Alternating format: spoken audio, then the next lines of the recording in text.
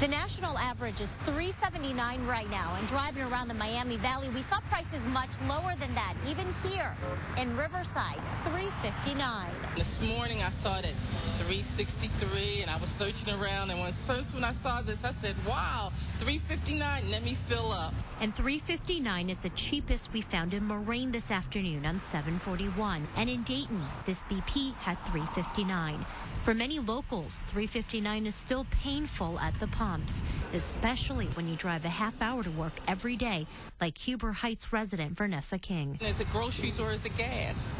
And that was a hard decision for me, even into today, thinking about it. Well, if I want to pay for grocery or am I going to pay for gas? Angela Petty with Marathon says most people think this way. When gas prices are up, there's less of this